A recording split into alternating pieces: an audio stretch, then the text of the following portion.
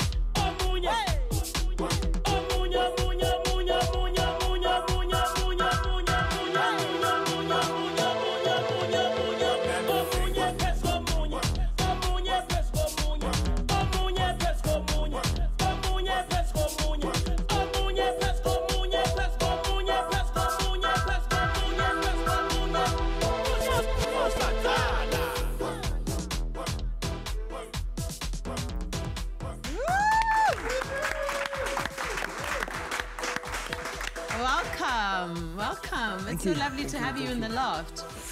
That's one of my favorite music videos. And also, I feel like all your videos feel like there was a big party, like long before the video was shot, and the party carried on long after the video was shot.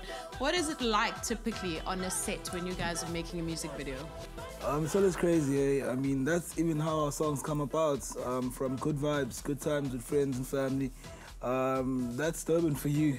Yeah. yes. So yeah. it's always crazy, man. Exciting. Yeah. What what how would you define gqom culture?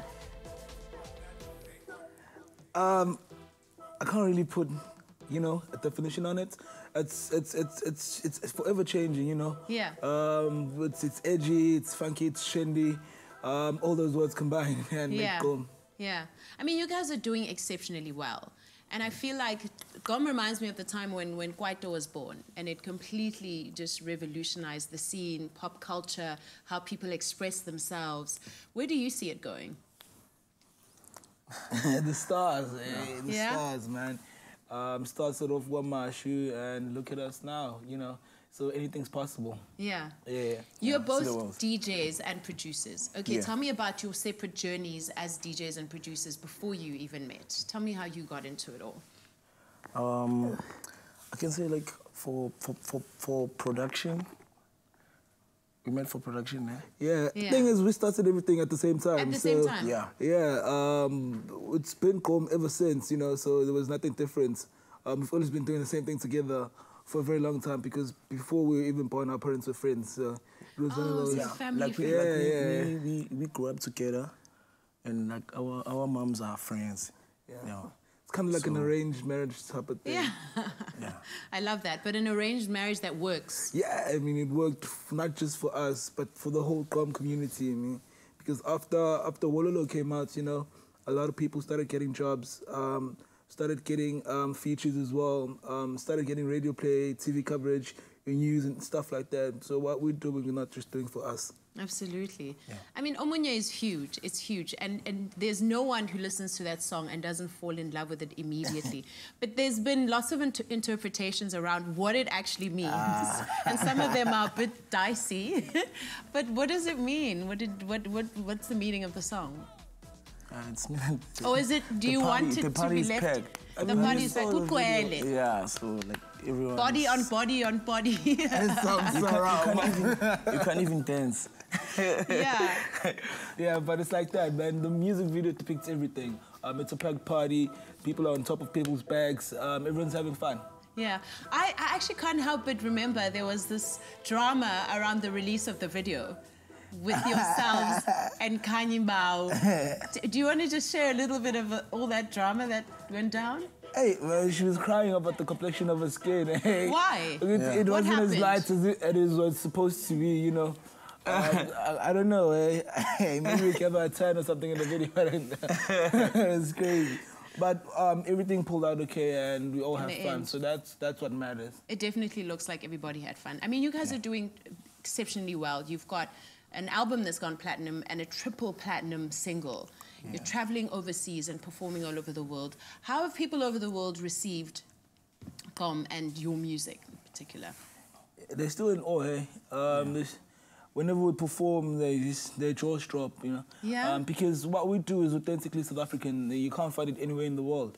So us doing it and doing it so well, um, and the sound being so clean, um, we've been well received all over the world. I mean, wherever we go, it doesn't matter. Your UK's, um, your Spain's, wherever we go, um, people are loving the sound because of its authenticity um, and Yeah. the, the drums, everything. It's it's African, it's so It feels African. distinctly you know? African, So yeah. they're like, hey, what's going on? Yeah. Yeah. And yeah, but we just keep going inside and keep going inside. Absolutely. Now you have a record label, and you obviously have a lot of people wanting to collaborate with you. Yeah. And how do you select who you work with? I, mean, I can say like we work with everyone. Yeah. Every producer, even underground producer, we still like do features with them. Cause we still wanna push, we still wanna see them to, to go on top like Mm. us as Distruction Boyz. So I, I don't wanna say we, we choose people. Yeah. Like producers, we, we collaborate with everyone. Everyone is, Yeah. it's cool. Yeah. That means you guys are always working, though. Sorry to interrupt you. Uh, no, it's cool. Um, yeah, we're forever working. I mean, um, it's it's those underground producers that actually got us to where we are right now. So we're just trying to lift them um, to be at our level as well. Um, there's a lot of people doing gqom. It's not just us, but we're at the forefront. So we got to pave the way for them as well.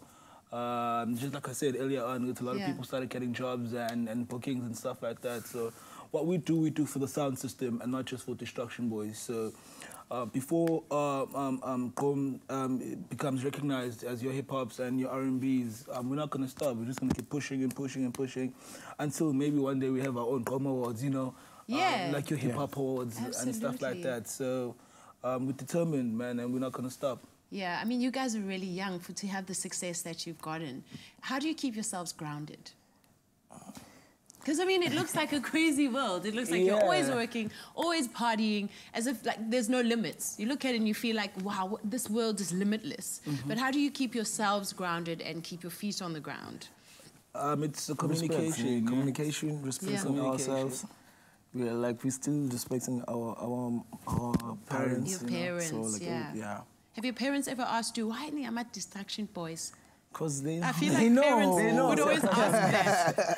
yeah. they know. I mean, they were there in the beginning, so they know everything. I mean, the sh- at first, it wasn't easy for them to Yeah. um, So that's come to terms with Mm. us being the people that we are, going out at nights, coming back with no money from the performance and stuff like that, because that's how everything starts. You know, you Starts, start yeah. slow, slow, slow. And, and I think that time we were too young.